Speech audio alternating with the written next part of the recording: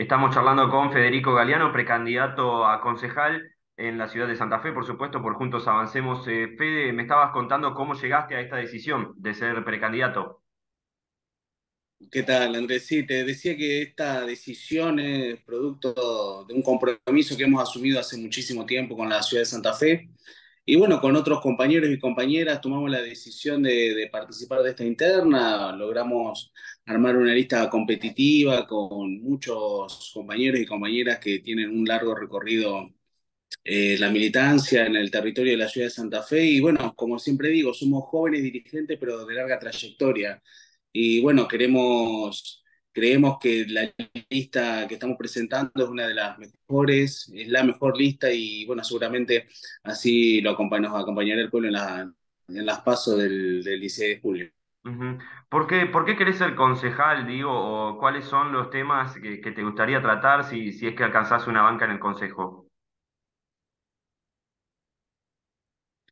Mirá, hace eh, mucho tiempo, mira, yo en primer lugar provengo de una familia de laburantes.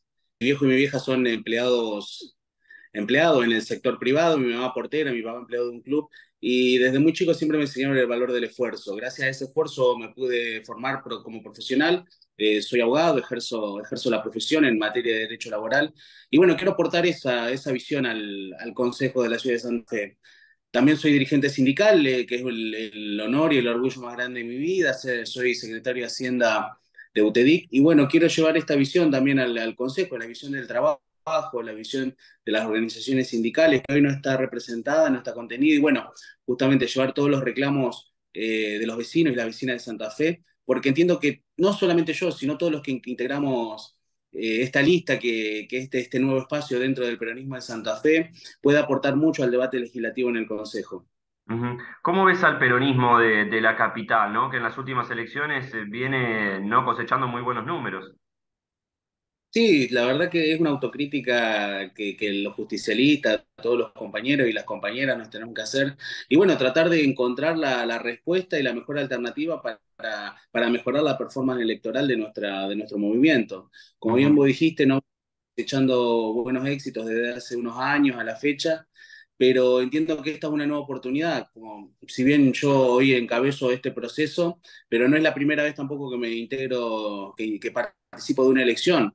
En el 2013 integré una lista que encabezó Sebastián Piñata, luego en el 2017 integré la lista que encabezó Mauro Castelló, en, en ambas oportunidades fueron las listas que ganaron la interna, y bueno, esta es la primera vez que yo estoy encabezando este proceso, que me puse al frente de la construcción de este nuevo espacio para el peronismo de la ciudad, y bueno, como te decía anteriormente, lo que yo vengo es aportar, aportar nuevas ideas junto con mi equipo, junto con, con mis compañeros y mis compañeras del resto de la lista. Que como te decía, hoy hemos integrado una lista muy competitiva, una lista muy buena.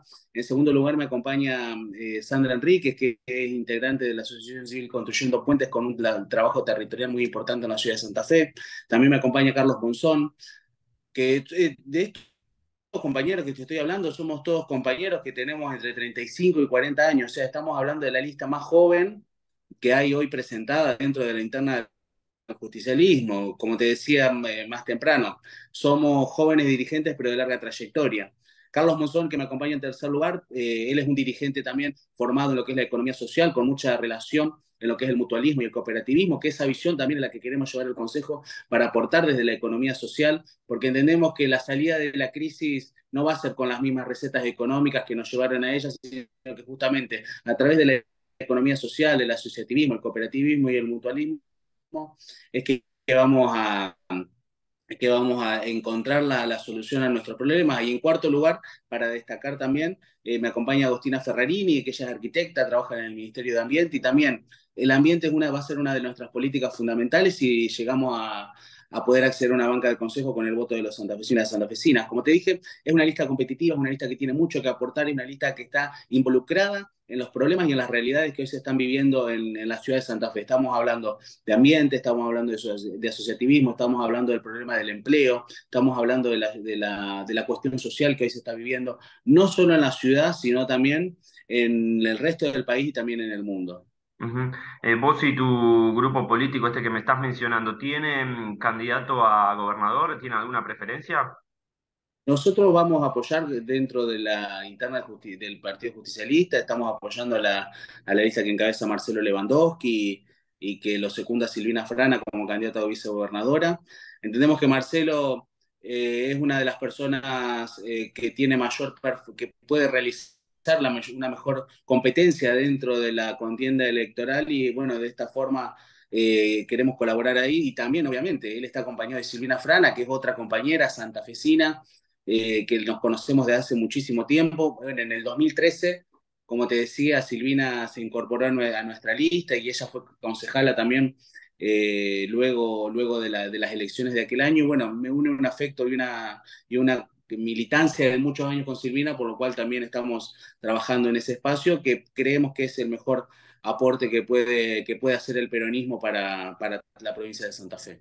Claro, y abriendo un poco el mapa mm, de oferta electoral, Fede, ¿cómo ves eh, que bueno, se han conformado dos grandes frentes que parece que se van a disputar en prácticamente todas las localidades eh, los distintos cargos ejecutivos y legislativos? Estoy hablando de el Frente de Frentes de Unidos para Cambiar Santa Fe y el Frente de ustedes de Juntos Avancemos.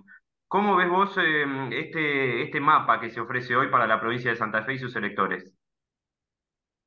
Yo lo que veo es que nosotros estamos planteando la continuidad de un proyecto, la continuidad de las políticas públicas que eh, inició Mar Perotti en el año 2019. Estamos hablando de políticas públicas que siempre están al, lado del que trabaja, del que invierte y del que produce. Bueno, eso es lo que queremos continuar. Y del otro lado, lo que veo es un rejunte. Veo solamente eh, personalidades mediáticas que solamente son conocidas en los estudios de televisión o o por hacer denuncias sin ningún fundamento, o gente que no, no vive en esta provincia y que por lo tanto no la conoce y no puede llevar, eh, no puede llevar adelante soluciones para los problemas que uno conoce. Para, para defender algo primero hay que amarlo y para amarlo hay que conocerlo, como dice Roberto Mirabella. Y bueno, en ese sentido, nosotros entendemos que la única propuesta política que hoy lleva adelante una, una una, una realidad concreta para demostrar, es la, es la que hoy estamos llevando con, el con nuestro Frente Juntos Avancemos, y dentro del mismo, el espacio que encabeza Marcelo Lewandowski y Silvina Fran. Claro. Bueno, Fede, te agradecemos este primer contacto para la agencia de noticias DERF y esperamos seguir charlando pronto. Gracias por tu tiempo. Gracias a vos, Andrés, muy amable. Un abrazo.